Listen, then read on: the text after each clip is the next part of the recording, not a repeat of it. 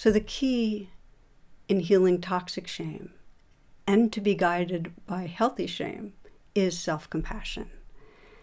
And inevitably, this is true for all of us as we're going to be practicing together in a moment.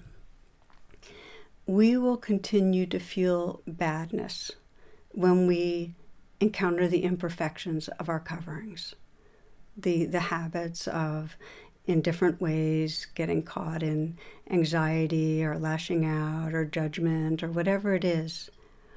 If we can remember our basic goodness, and I often, my mantra is often just trust the gold, trust the gold, you know. Instead of reacting, instead of defending, instead of sinking into shame, if we can remember that, we can then respond to what comes up in a way that further aligns our heart. We all need pathways of self compassion in response to imperfection. Um, we all need ways and we all need to help each other realize that these difficult waves we experience are not our fault. And if we trust the goodness, we can actually become the being that we want to be. So, with that, uh, a lot of words. Let's let's practice a little. Uh, this meditation is on healing toxic shame and trusting the gold. Take a moment, if you will, to pause.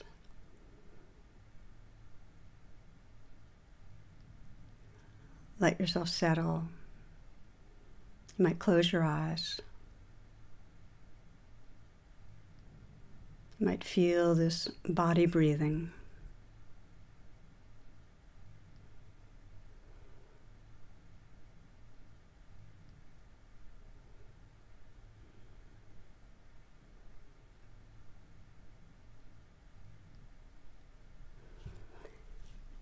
You might scan and notice where in your life you might be reacting to imperfection. You might be feeling down on yourself, judging yourself, feeling shame or aversion.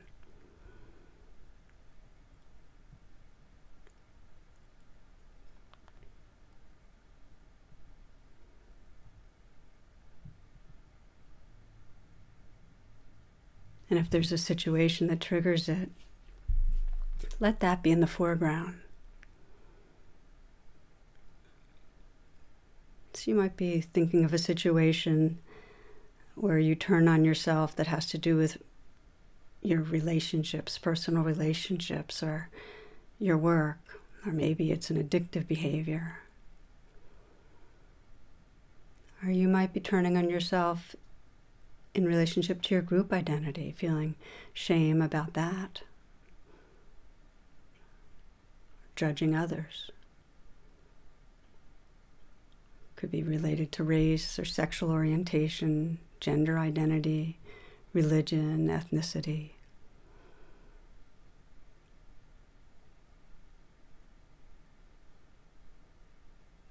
Some situation where you turn on yourself.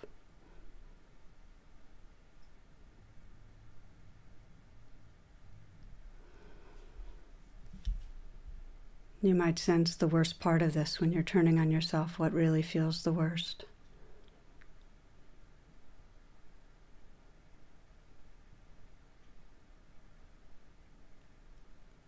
And being guided by the RAIN acronym, we start by just recognizing whatever's predominant. When you're turning on yourself, what are you most noticing? Is it shame? Is it aversion? Is it fear?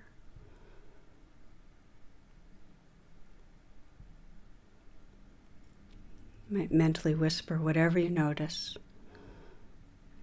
And that begins to call in the mindful witness. And then allow, and that creates some space. Allow is like saying, okay, these coverings are here, this belongs. It's a wave in the ocean. Let it be there.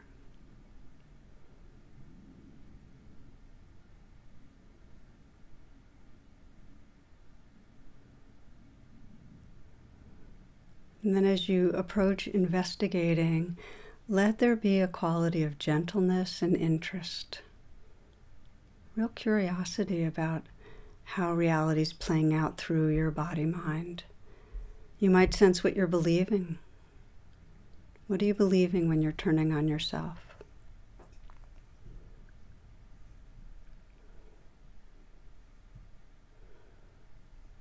Is it that you're basically unworthy? That you're there's a sense of basic badness? Is it that you'll never be close with others because of this? You're not lovable? What belief comes? And as you sense whatever belief is there, let yourself feel the unpleasantness, the pain of, of shame, of that feeling of badness. And if it helps to put your hand on your heart, just to feel connected with what's going on inside, please do so. You might imagine you could look right now through the eyes of, of a bodhisattva, a wise, compassionate being, a self that feels ashamed, not okay. The eyes of a wise grandmother, the eyes of a Buddha.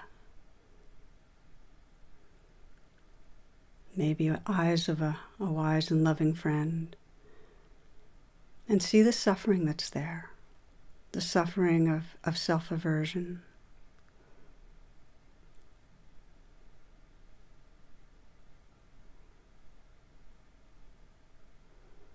And also see the streams of conditioning that shaped the very behaviors or feelings that you're judging.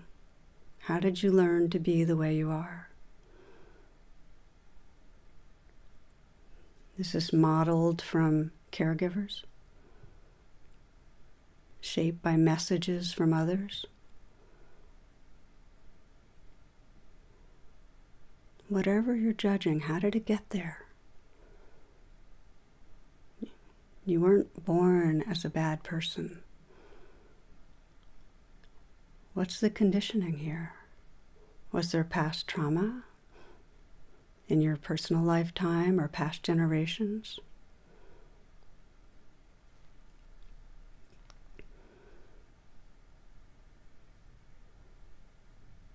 Through the eyes of the Bodhisattva, seeing the conditioning that created the very thing that you're aversive to. How did the society shape it? Our competitive, over consuming, aggressive divided society, how did that shape your inner experience?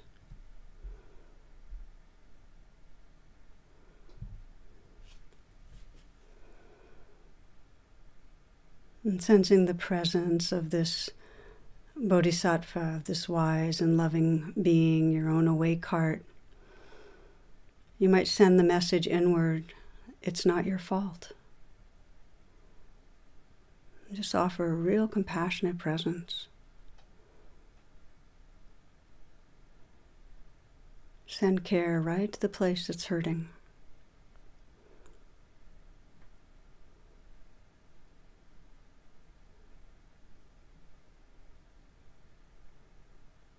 The place that feels bad. Let it be bathed with a compassionate presence.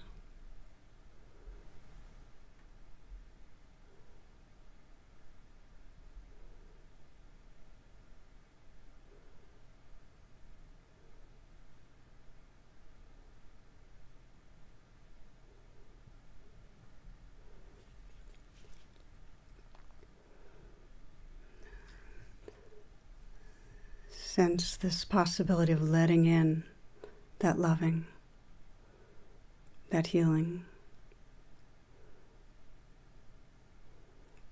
of letting go into it, becoming one with it.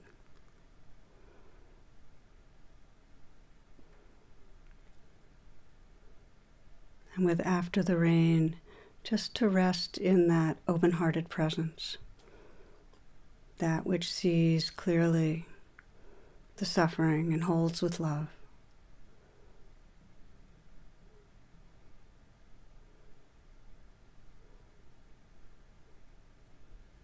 You might sense who are you when you're not believing something's wrong with you?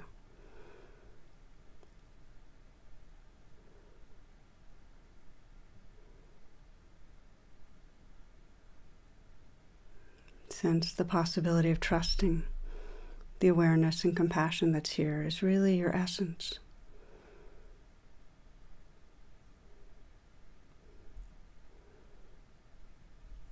And from that place of, of trusting the gold, trusting the goodness of your essence, you might look at the patterning that you were judging, aversive to, whatever it is about the coverings that you're not liking, perhaps ways you hurt others, hurt yourself. You might sense what's my deepest intention? From the gold, what's my deepest intention?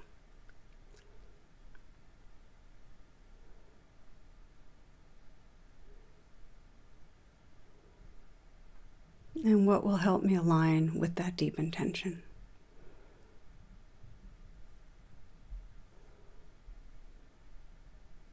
What will help me live from loving awareness?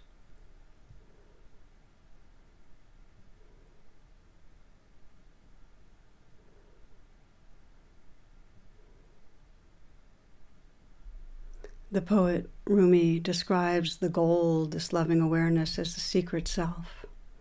He writes, I must have been incredibly simple or drunk or insane to sneak into my own house and steal money, to climb over the fence and take my own vegetables, but no more. I've gotten free of that ignorant fist that was pinching and twisting my secret self. The universe and the light of the stars come through me. I am the crescent moon put up over the gate to the festival.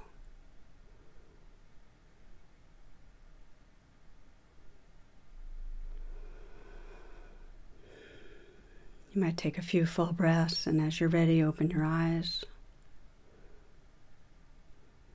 So, I want to thank you uh, for your attention, for exploring this together, and uh, to wish you all loving blessings as you move through these next days. Namaste.